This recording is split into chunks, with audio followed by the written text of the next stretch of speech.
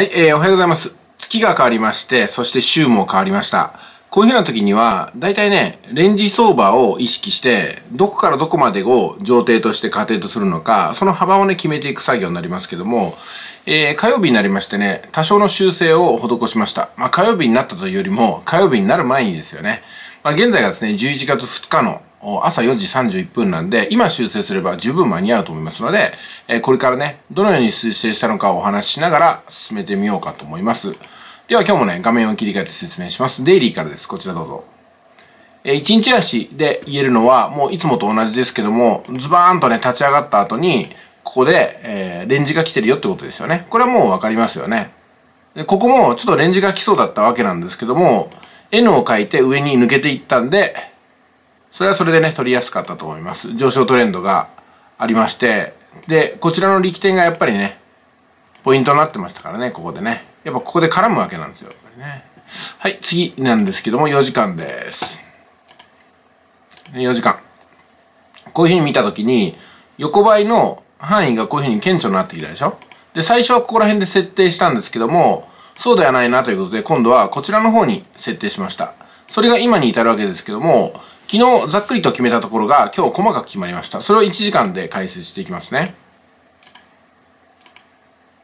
はい。えー、昨日はね、114の085というものを上程に設定したんですけども、これがね、えっ、ー、と、こちらの力点とこちらの力点を結んだんですけども、どうもね、こことここにした方が良さそうだなと思いましたので、昨日の動きを見てね。昨日の動きでこう、とんがり山を出したわけですよ。まあですんで、ここまでは追っかけていかないにしてもね、ここだろうなと思いましたね。ですんで、110円の234。114の234を一つ設けました。で、これが上定です。よろしいですかね。で、下は変わらずです。ここが、こう、ポツンと1点だけね、三角、逆三角の頂点になってますので、113円の385。これは変わらずです。ね、これが上定。上定ってこう書くんですよ。上定、家庭。これですね。上定家庭と決まりましたね。はい、これでいきましょう。えーと、こんなところかな。ちょっと、あ、これをね、閉じちゃいけないんだな。まあ、日付を書いておきましょうか、ちょっとね。日付を、日付を書いていきますよ。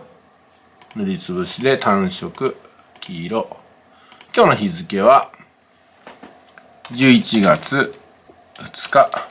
これでいいんじゃないですか、うん、でこのように上程と仮定決まりましたのであとはこれを破ればブレイク破らなければレンジ戦略ということで、えー、枠の内側をねなぞっていくようになります。こちらの方ね、うん、ごちゃごちゃしてきましたけども、ま、要するにここからセルに入ってまあ、ここから倍に入ってってところですね。えー、だいぶ今日は分かりやすくなったんじゃないかなと思いますけどいかがですかね。えっ、ー、と、ですから今はね、セルの真っ最中でよろしいかと思います。今セルに入っても構いませんよ。えー、それではね、今日も頑張っていきましょう。セルバイのレンジ、もしくはブレイクして伸びた方向についていくということでございます。これはね、もしかしたらね、下の方に行くんじゃないかなと。円高の方向に向かうんじゃないか。113円とか112円を目指していくとは思うんですけどもねいかがでしょうかね。それでは。